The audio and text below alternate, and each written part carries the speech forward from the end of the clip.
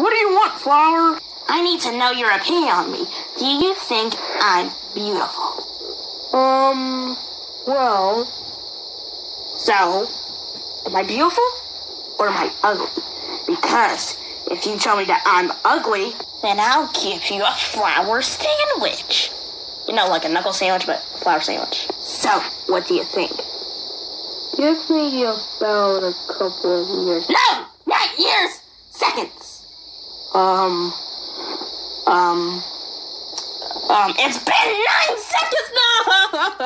oh, oh, I'll give you that knuckle sandwich flower sandwich. um, you're the most, uh, beautiful girl in The world. Okay, good enough. I can't believe that actually worked.